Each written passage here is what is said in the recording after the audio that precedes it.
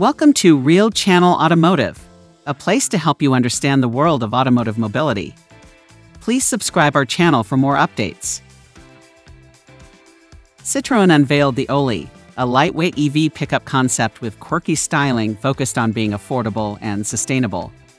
The pickup truck concept is made of recycled and recyclable materials and is the first to integrate Citroën's new logo and brand identity before it is applied to production models starting next year.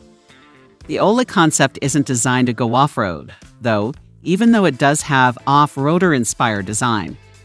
Think of it like a vehicle that is one step above the AMI, in that the key considerations while this was being designed were to keep it light, small, simple, affordable, and also to make it out of as many recycled materials as possible. Citroën describes the Oli, pronounced Ollie, as a laboratory on wheels. The design is quite playful, in a similar way to the AMI Heavy quadricycle. The unconventional body style includes a vertical front windshield, suicide doors for easy access to the colorful cabin, and a relatively small bed. The futuristic wheels are made of steel and aluminum. shod and Goodyear Eagle go concept tires designed for longevity. But in spite of the fact that it was designed to be small and cheap, Citroën certainly hasn't shied from giving it very bold design. The upright windscreen is the first thing you notice, as well as the squared off design, but the headlights are also quite bold, and they even feature a small intake, as are the curved side windows and the B pillar area, where the quarter light is taller than the actual window.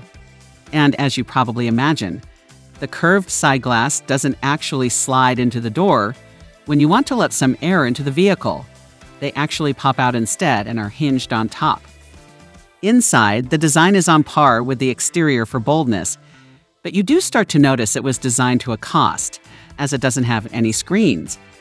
Citroën considers that the Oli doesn't need to have its own screens, as you can just use your own smartphone that gets its own dock in the middle of the single piece dashboard. It also lacks buttons, with just five toggle switches on the center console and a single small joystick on the steering wheel. As with all Citroën models, the Oli is integrating the advanced comfort philosophy while offering plenty of practicality. The modular floor is made of a single piece expanded thermoplastic polyurethane foam that can be replaced and color coded. The same material can be found on running shoes and bicycle saddles. Citroën added a waterproof coating that can be hosed clean thanks to draining plugs. The door panels are also simplified with large storage bins and a simple design. Despite being fully electric, the target weight of the Oli is 2,204 pounds. The French electric truck concept has an estimated EV range of 249 miles, with the 40 kilowatt hour battery being able to charge from 20 to 80% in 23 minutes. The concept also supports vehicle to grid and vehicle to load capability meaning it can store energy and sell it back to the grid or power electric devices through the integrated socket. Citroën didn't announce the power figures or the number of electric motors, but we do know that top speed is limited to 68 miles per hour, prioritizing efficiency instead of performance. In a quest to boost the vehicle's longevity, Citroën designed the Oli to be refurbished instead of replaced. Cars that are no longer drivable would become part donors, keeping other Olis on the road.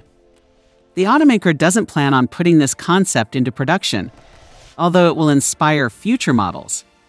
Furthermore, it also shows Citroën's desire to create simple, resource light vehicles. So there's a strong chance that the company will introduce more AMI like models in the future.